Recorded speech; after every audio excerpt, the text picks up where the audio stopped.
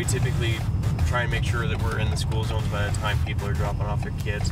So right now I'm just watching speeds as they come Okay. down through here. This is 20 miles an hour as we come through, and I mean, it's icy. It just melted yesterday and refroze overnight, so we're really my personal. I'm I mean, using my own officer discretion, I, I watch for a lot of speeders coming through here. And there's just too many kids crossing the streets and at the crosswalks to to really uh, not be paying attention to how fast we're going. So. Hello Annie. How's it going? Oh, I'm sorry. Oh,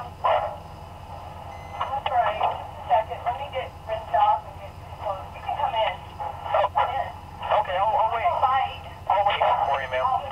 Yeah, I'll be all right. For your own sake and hers, we don't need any more issues, ma'am. Just don't go back over there. If you have an issue, give us a call. We'll try and help you out the best we can, but I'm a pretty firm believer that you um,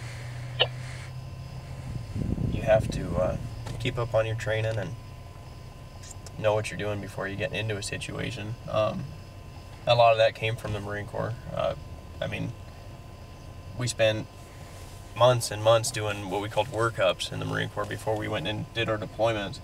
And uh, when you find yourselves in the situations, I mean, good training is definitely what makes the difference. Um, and we have some of the best training around, I think. Uh, the Wyoming Law Enforcement Academy is just fantastic. It's they spend a lot of time and a lot of effort making sure that you know what you're doing and that you're everybody's being safe and that we're following and making sure that we're uh, we're doing the right thing at the right time for the right reason.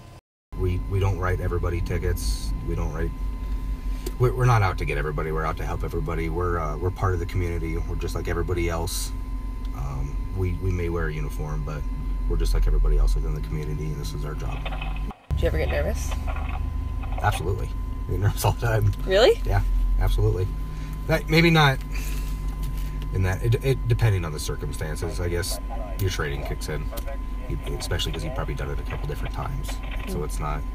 But you, you do get nervous for certain things. Absolutely. Sheridan's a great community to be a law enforcement officer. Everyone pretty much well respects. There's a lot of recognition. Everybody enjoys being around us.